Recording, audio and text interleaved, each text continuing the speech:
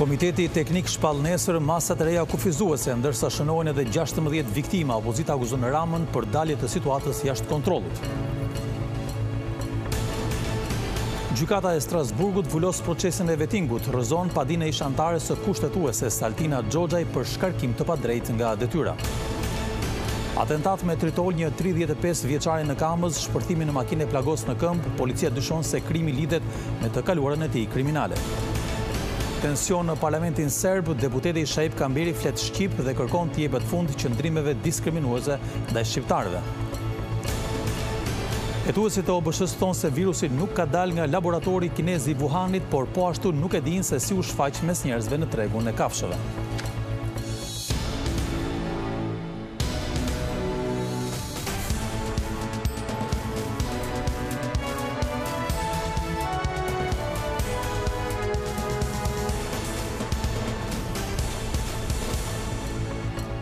Përshëndetje të gjithëve, do të jemi së bashku me lajmet qendrore këtu në televizionin kombëtar Vizion Plus. Fillojmë menjëherë me zhvillimet kryesore të ditës deri në këto momente. Kryeministri Edi Rama lajmëroi sot masat e reja kundër koronavirusit që pritet të shpallen nesër nga Komiteti Teknik. Ai nënvizoi rritjen e infektimeve në vend, por duke siguruar në çdo rast nuk do të ketë izolim. Rama ndërkohë nuk iu përgjigj apelit të ambasadores amerikane Yuri Kim për Tom Doshin, ndërkohë që nuk i kurseu ironitë për rivalin e tij politik Lulzim Basha. Të martën Komiteti Teknik i Ekspertëve do të vendosë masat e reja shtrënguese kundër përhapjes së virusit. Shkak është mbërritja e shifrave të të infektuarve në mbi një mijë raste në ditë. Virusi nuk ikën dhe virusin do ta asgjësojë vaksina. Këtu çështja është sa njerëzit do të jenë. respektues ndaj masave dhe prandaj do të ketë një shtrëngim të masave. Kryeministri Edi Rama nuk përmendi se cilat do të jenë rregullat e reja në funksion të reduktimit të të prekurve, por të paktën deri më tani nuk do të çojë në asnjë lloj të vetëizolimit.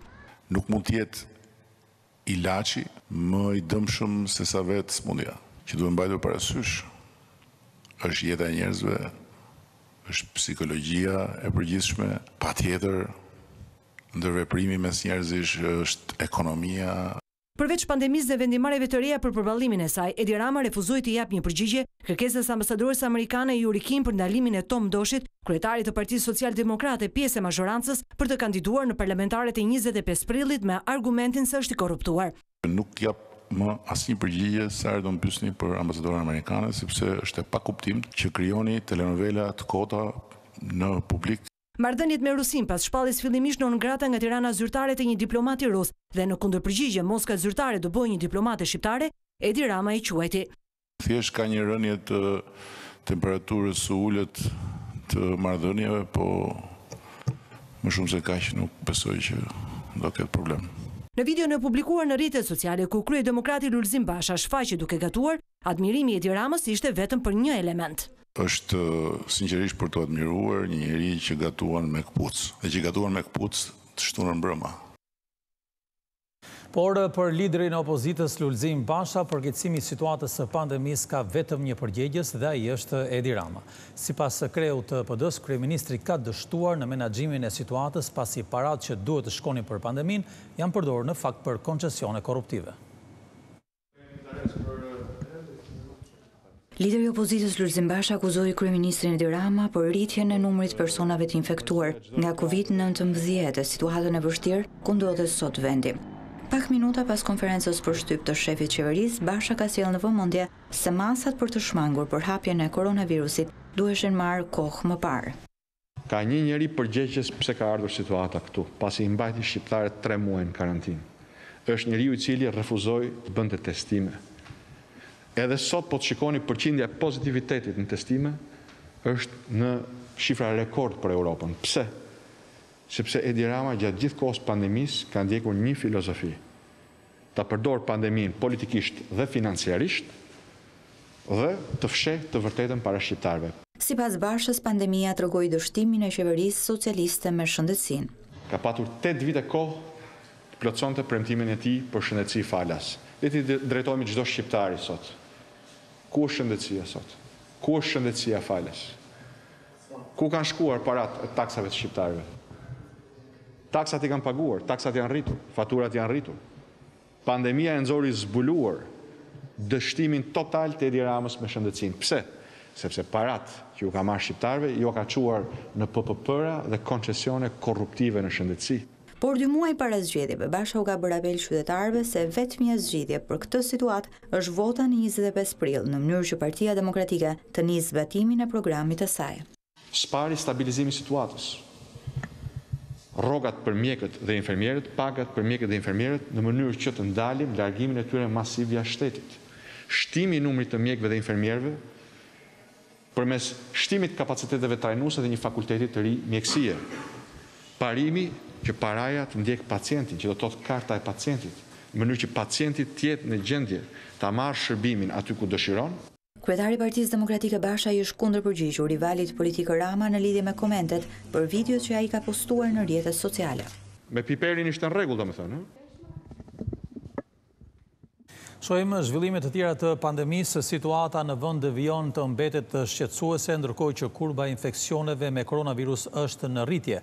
Fatkeqësisht, gjashtëmbëdhjetë pacientë të tjerë të moshave nga pesëdhjetë e tetë deri në tetëdhjetë e katër vjeç kanë ndërruar jetë. Orët e fundit, mbi katër mijë e pesëqind testime identifikuan edhe një mijë e dyqind e tridhjetë e nëntë raste të tjera pozitive, rreth gjysma e të cilave vetëm në Tiranë. Tetëqind e pesë qytetarë janë shëruar, ndërkohë që aktualisht në katër spitalet Covid po trajtohen katërqind e shtatëdhjetë e një pacientë, tridhjetë e dy në terapi intensive, mes të cilëve njëmbëdhjetë janë të intubuar.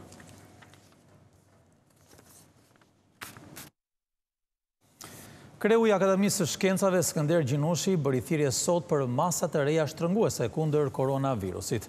Ai iu referua të dhënave të fundit për infektimet që sipas tij janë shqetësuese, Por Gjinushi nuk përmendi studimin e mëparshëm të Akademisë drejtuar prej tij që fliste pikërisht për arritjen e imunitetit të tufës.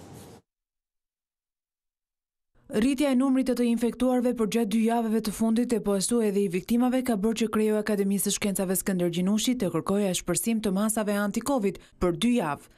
Ndryshe nga studimi i parë i Akademisë që tregonte se afro pesëdhjetë për qind e popullsisë në Tiranë ishin infektuar, duke arritur imunitetin e tufës, sot Gjinushi nuk i përmendi më fjalët qetësuese, përkundrazi ai foli me tone alarmante.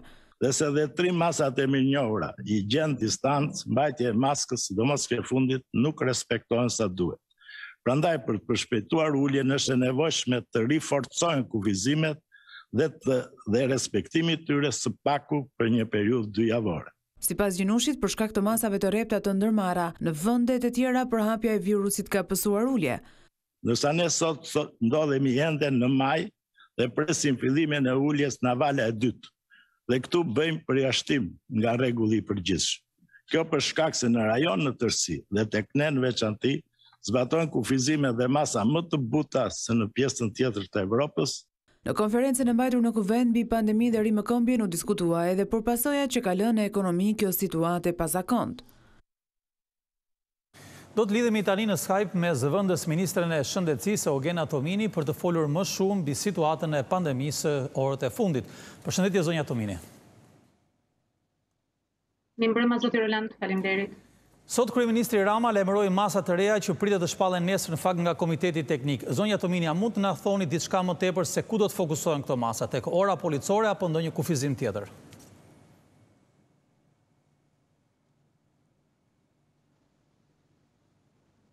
Tani është situata po e në mënyrë dinamike dhe duke vlerësuar jo vetëm nga ana epidemiologjike, po nga përgjigja spitalore për rastet që kërkojnë hospitalizim, nga numri i rasteve që kërkojnë intensiv.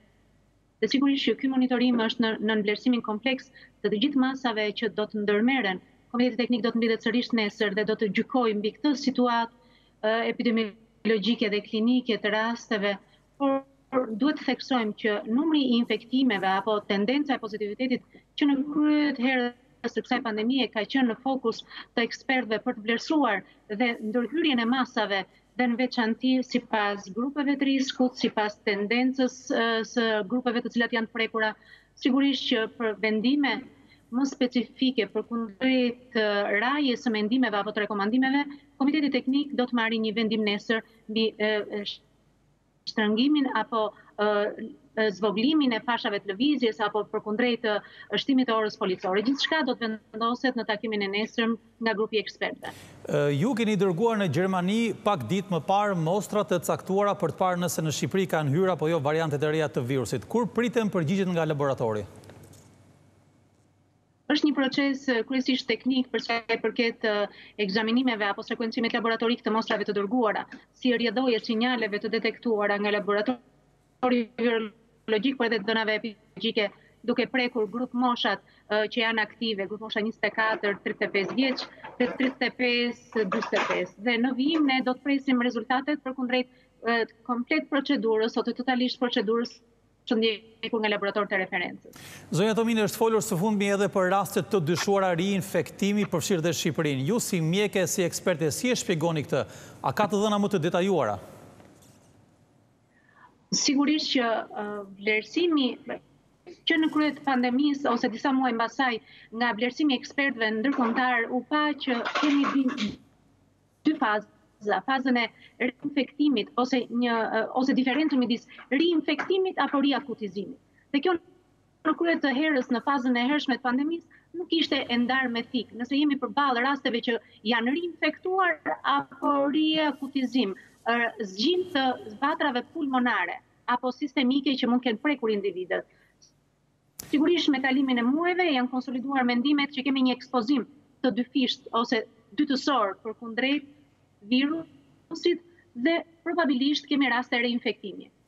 Ndërkohë, më shumë se tre muaj më parë është vendosur në Shqipëri mbajtja e maskës me detyrim në shumë ambiente, u mbyllën universitetet, u vendos dhe ora policore. Sot, në fakt, kemi më shumë raste infektimesh dhe njerëzit me të drejtë pyesin, sa efektive janë këto masa?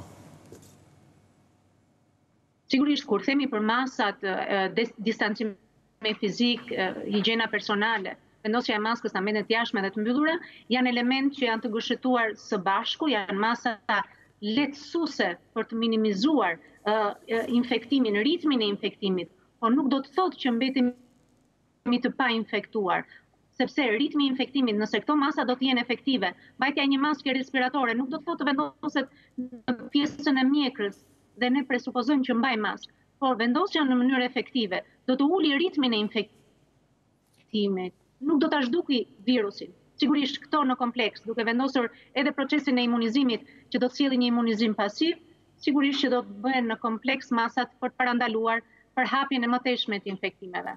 Dhe një pyetje e fundit, zonja Tomini, kur pritet të vijnë vaksinat e premtuara nga Pfizer dhe programi Covax? Pritet të vinin këtë muaj, brenda këtij muaj, a kemi ndonjë datë konkrete? Gjatë javës së dytë të muajit shkurt pritet që të vijë sasia tjetër e vaksinave dhe për rrjedhojë do të fuqizojë më shumë stokun për të filluar një vaksinim më të shtrirë në personelin e riskut që është grupi më prioritar. Zonja Tomini, faleminderit për komentet tuaja lidhur me situatën e pandemisë në vend. Ecim atë. Shohim zhvillime të tjera të ditës, Strasburgu ka vulosur më në fund procesin e vetingut, gjykata ka rrëzuar padinë e ish-anëtares së Kushtetueses Altina Xhoxhaj e cila e quante të padrejtë shkarkimin e saj nga detyra. Ky është vendimi i parë që Strasburgu jep për procesin e rivlerësimit të gjyqtarëve dhe prokurorëve në Shqipëri. Pas Gjykatës Kushtetuese, Komisionit të Venecias, këtë të martë edhe Gjykata Evropiane e të Drejtave të Njeriut ka vulosur ligjshmërinë e procesit të Vetingut. Gjykata e Strasburgut ka rrëzuar kërkesën e ish-gjyqtares Altina Xhoxhaj për parregullsi në procesin e Vettingut, duke i cilësuar si të rregullta procedurat e verifikimit dhe proporcional vendimin për shkarkimin e gjyqtares së Gjykatës Kushtetuese. Në vendimin e marrë në datë nëntë shkurt, gjykata çmon se organet e Vettingut ishin ngritur dhe formuar në mënyrë të ligjshme dhe kishin qenë gjykatë e krijuar me ligj për shkak të bazës ligjore mjaftueshmërisht të qartë. Gjykata nuk e gjeti të bazuar pretendimin për mungesë të pavarësisë të Komisionit të Pavarur të Kualifikimit si dhe Kolegjit të Apelimit. Ajo nuk pati dyshime për mënyrën e zgjedhjes së anëtarëve të organeve të Vetingut, pasi zgjedhja e tyre kishte qenë në përputhje me procedurën. Gjykata arriti në përfundimin se nuk kishte patur shkelje përsa i takonte pretendimit për mungesën e pavarësisë dhe paanshmërisë të organeve të Vetingut. Një tjetër pikë ishte edhe vendimi për shkarkimin, ku gjykata u shpreh se shkarkimi nga detyra ishte mbase masa disiplinore më e rëndë që mund të jepej ndaj një personi, e cila kërkonte prova shumë bindëse të shkeljeve etike dhe profesionale. Në vlerësimin e domosdoshmërisë për marrjen e kësaj mase, gjykata mori parasysh nevojën e domosdoshme shoqërore në Shqipëri për të reformuar sistemin e drejtësisë për shkak të nivelit të lartë të korrupsionit në gjyqësor. Gjykata vlerësoi se shkarkimi nga detyra i kërkueses kishte qenë proporcional. Ekzistenca e një game të kufizuar të masave disiplinore në Ligjin e Vettingut ishte në pajtueshmëri me frymën e procedurave të Vettingut, të cilat, duke qenë një proces unik, kishin si qëllim të pastronin sistemin e drejtësisë nga elementët e korruptuar. Për më tepër, ajo çmoi se ndalimi i përhershëm për të rihyrë në sistemin e drejtësisë për shkak të shkeljeve të rënda etike, i cili ishte vendosur nëpërmjet një ligji tjetër dhe gjente zbatim edhe ndaj kërkesës dhe personave të tjerë të shkarkuar nga detyra, kishte qenë i pajtueshëm me garantimin e integritetit të detyrës të magjistratit dhe të besimit të publikut në sistemin e drejtësisë. Ky ndalim ishte akoma më justifikuar për shkak të kontekstit kombëtar të një shteti të së drejtës në konsolidim e sipër.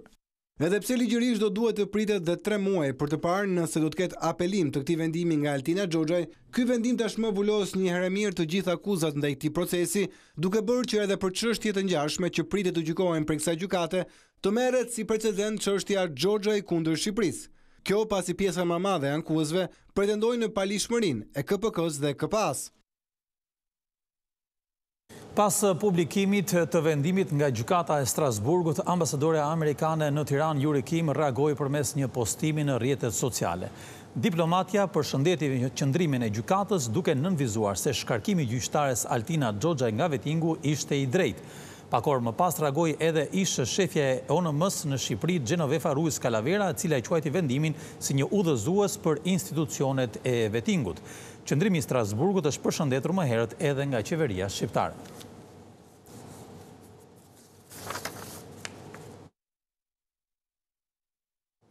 Komisioni Qendror i Zgjedhjeve ka gjobitur këtë të martë kryetarin e Bashkisë së Tiranës, Erion Veliaj, pasi ai ka zhvilluar aktivitete që janë të ndaluara katër muaj përpara datës së zgjedhjeve. Ai është gjetur fajtor për dy shkelje, atë të mosraportimit të aktiviteteve, për të cilën është gjobitur me tridhjetë e pesë mijë lekë, dhe për promovimin e aktiviteteve të ndaluara, një shkelje për të cilën është ndëshkuar me dyzet mijë lekë. Ankimi ndaj Erion Veliajt ishte depozituar nga Lëvizja Socialiste për Integrim.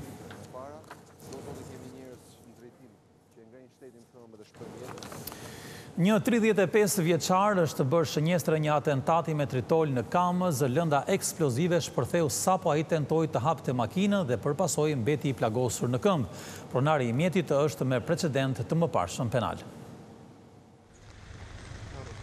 Një shpërthim i fuqishëm ka tronditur zonën e Kamzës paraditen e kësaj të marte.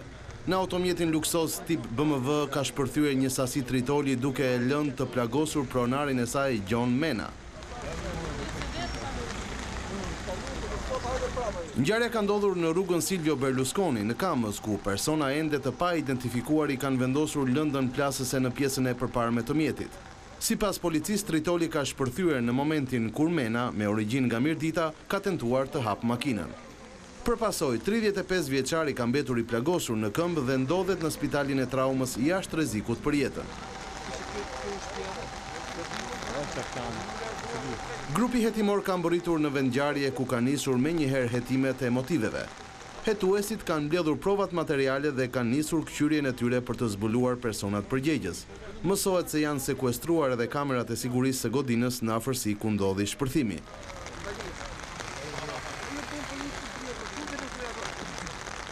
Gjon Mena, i njohur ndryshe edhe me emrin Altin Xhuxha, rezulton person me rekorde kriminale. Ai ka qenë i dënuar në Shqipëri për armbajtje pa leje, si edhe i dyshuar për vjedhje me dhunë në Itali dhe Francë. Policia në Malësinë e Madhe beson se gruaja që u gjet e pajetë në shtëpinë e saj është vrarë, hetimet zbuluan se ajo është dhunuar dhe pas vdekjes i janë prerë edhe flokët. Një nga të dyshuarit është edhe vetë djali i viktimës. Detaje tronditëse u zbuluan lidhur me vdekjen e dyzet e tetë vjeçares Violeta Gurraj, e cila u gjet e pajetë në banesën e saj në Malësi të Madhe një ditë më parë. Hetuesit rrëzuan pistën e vetëvrasjes dhe po hetojnë atë të vrasjes, pasi nga provat e grumbulluara në vendngjarje, ka dyshime se dyzet e tetë vjeçarja në fillim është dhunuar fizikisht e më pas i është prerë fyti dhe flokët. Pista kryesore ku janë përqendruar hetimet është ajo e konflikteve familjare, ndërsa një nga autorët e dyshuar është dhe vetë djali i viktimës, Franc Gurraj. Njëzet e katër vjeçari kishte tre ditë që kishte dalë nga burgu pasi gjykata kishte vendosur ndaj tij masën e sigurisë arrest shtëpie. Ai ishte arrestuar në kryeqytet në dhjetor të vitit dy mijë e njëzet për shpërndarje kokaine në doza të vogla. Por në momentin kur policia gjeti trupin e pajetë të Violeta Gurrajt, i riu nuk ndodhej në banesë, ndërsa dera ishte e kyçur. Mësohet se në dëshminë e dhënë para hetuesve njëzet e katër vjeçari ka pohuar se ishte në shtëpinë e xhaxhait të tij, pasi kishte konflikt me nënën. Por, pavarësisht qëndrimit të mbajtur nga njëzet e katër vjeçari, policia ka ngritur dyshime lidhur me deklaratat e bëra prej tij. Violeta Gurraj vuante nga depresioni. Ajo jetonte e vetme pasi bashkëshortin e kishin vrarë disa vite më parë, ndërsa mësohet se ka qenë në konflikt me familjarët e këtij të fundit. Rikthimi i reshjeve të shiut ka rënduar situatën në qarkun e Shkodrës. Rritja e nivelit të ujit ka zgjeruar sipërfaqen e përmbytur të tokës bujqësore, e cila arrin në tre mijë e shtatëqind hektarë. Situata e përmbytjeve në qarkun e Shkodrës vazhdon të jetë problematike. Reshjet e dendura të shiut të rëna gjatë njëzet e katër orëve të fundit, kanë bërë që niveli i ujit në Dajç dhe në lumin Drin të rritet sërish. Sipas Shtabit të Emergjencave, sipërfaqja e përmbytur ka shkuar në rreth tre mijë e shtatëqind hektarë tokë bujqësore, pjesa më e madhe e të cilës në njësinë administrative Ana e Malit dhe atë të Dajçit. Si rrjedhojë e rritjes së nivelit të ujit, fshati Obot vijon të jetë i bllokuar, ndërsa banesat rrezikojnë përmbytjen. Deri më tani në këtë zonë janë evakuuar dy familje.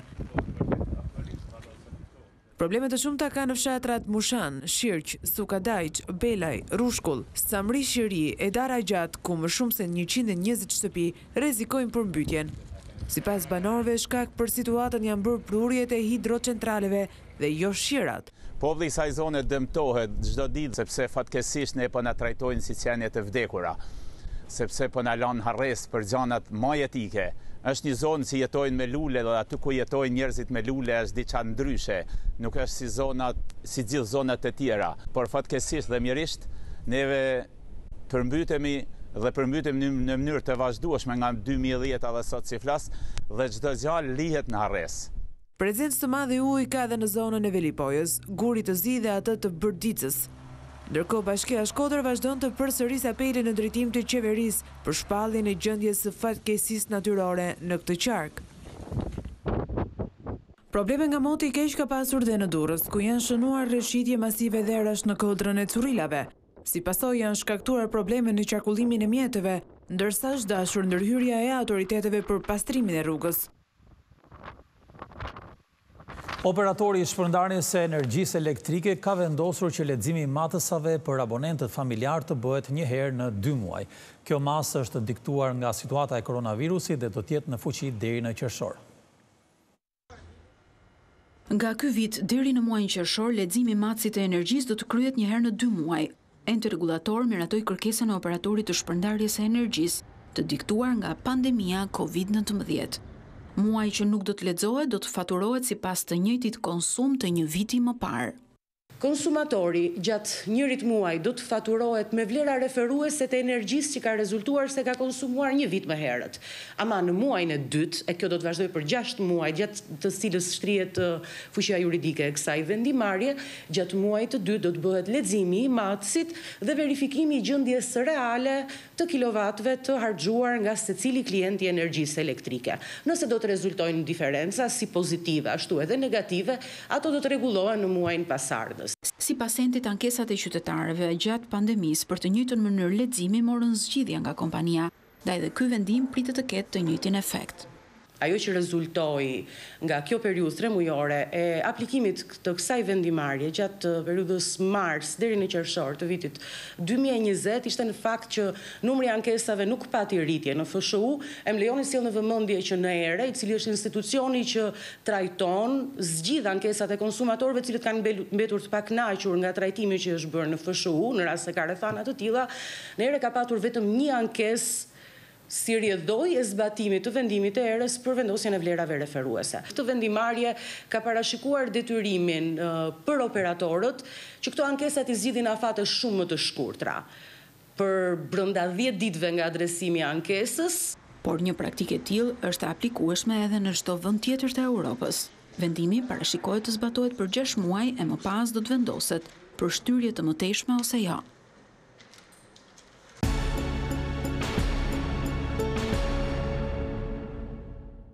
Deputeti shqiptar në Parlamentin e Serbisë, Shaip Kamberi, ka shpërthyer në kritika të forta ndaj Gjykatës së Lartë në Beograd.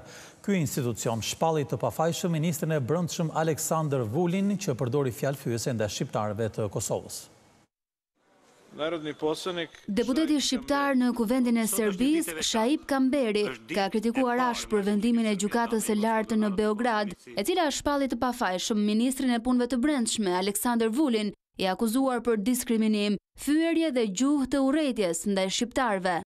Sipas Kamberit, vendimi për të legalizuar termin ofendues, shqiptari, është i rrezikshëm për minoritetet në Serbi, por edhe për të gjithë Ballkanin Perëndimor.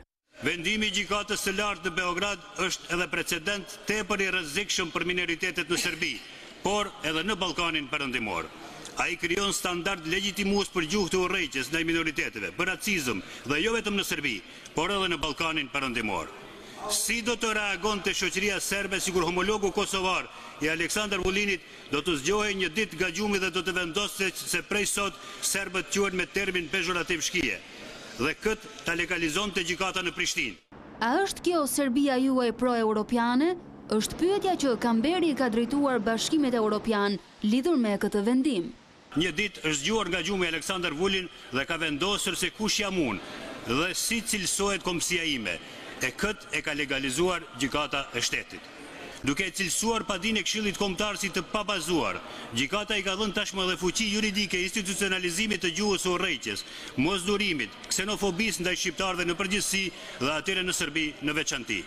Zonja Merkel, zoti Macron, zoti Borrell, zoti Lajçak, zonja von der Leyen, A është kjo Serbia juaj pro-evropiane? Fjalimi në shqip i deputetit Kamberi është ndërprerë nga kolegët serbë, e madje disa herë u desh ndërhyrja e kryetarit të Kuvendit, Ivica Daçiç, për të vendosur qetësinë. I cili pa t'i sanksionuar term.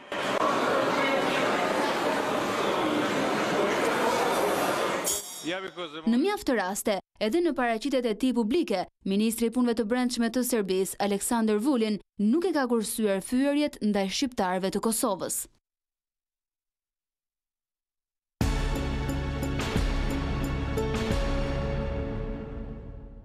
Pas afro një muaji hetimesh, ekspertët e Organizatës Botërore të Shëndetësisë kanë dalë në konkluzionin se virusi nuk ka dalë nga laboratori në Wuhan, Por ata ndërkohë nuk kanë gjetur as origjinën e sëmundjes që sipas tyre u shfaq në tregun e kafshëve në të njëjtin qytet.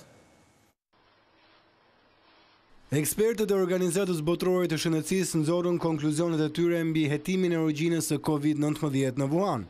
Eksperti i OBSH-së, Peter Embarek, hodhi poshtë dyshimin kryesor që virusi SARS-CoV dy të ketë dalë nga laboratori i qytetit kinez. Teoria që Covid nëntëmbëdhjetë të jetë krijuar nga njeriu ose të jetë shpërndarë gabimisht nga laboratori sipas tij është e pamundur dhe për këtë arsye ata nuk do të kryejnë hetime të mëtejshme bazuar në këtë premisë. Teoria që virusi ka dalë nga laboratori është jashtëzakonisht e pamundur. Ekzistojnë dy teori që ne kemi analizuar. Së pari, virusi mund të ishte krijuar nga njerëzit, por kjo hipotezë tashmë është hedhur poshtë nga i gjithë komuniteti shkencor në të gjithë botën. Së dyti mund të ishte një rrjedhje e virusit nga laboratori, por duhet dalë nga një virus i njohur. Në të gjithë laboratorët në Wuhan nuk ka asnjë virus ekzistues të SARS-CoV-2. Nëse nuk ka ekzistencë të këtij virusi, nuk ka asnjë mënyrë që ky virus të ketë dalë nga aty. Edhe pse ekspertët u shprehën se dyshimi kryesor për shpërndarjen e koronavirusit ishte tregu i kafshëve në Wuhan, ata nuk kanë arritur të identifikojnë mënyrën se si ka mbërritur aty. All the work that has been done on. Aty ishte përhapur midis njerëzve që punuan dhe vizituan tregun Huanan gjatë gjithë dhjetorit. Se si u prezantua dhe u përhap në treg është ende e panjohur. Ne jemi ende duke punuar me hipotezën se ajo mund të ishte futur nga një person i cili ishte infektuar dhe më pas të përhapet te persona të tjerë në treg. por mund të jetë edhe përmes prezantimit të një produkti. Ndër produktet më interesante ishin kafshët e egra të konservuara. Disa nga këto specie dihet se janë të ndjeshme ndaj këtyre llojeve të viruseve. Shkencëtarët besojnë se Wuhani nuk ka qenë vendi i parë ku janë shfaqur rastet e para me Covid nëntëmbëdhjetë, por ata janë të sigurt që virusi nuk është përhapur para dhjetorit të dy mijë e nëntëmbëdhjetës, Nuk ka asnjë tregues të përhapjes së SARS-CoV dy në popullatë para dhjetorit dy mijë e nëntëmbëdhjetë dhe nuk ka prova të mjaftueshme për të përcaktuar nëse ishte përhapur në Wuhan.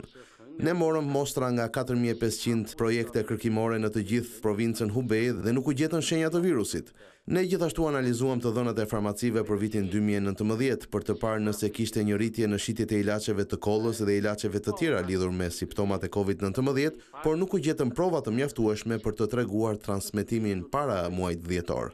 Hetimi i ekipit të OBSH-së, organizatë kjo e kritikuar shumë mbi mënyrën se si reagoi pas shpërthimit të pandemisë zgjati një muaj, por verifikimet u bënë plot një vit pas shfaqjes së virusit si dhe në mbikëqyrjen e autoriteteve kineze.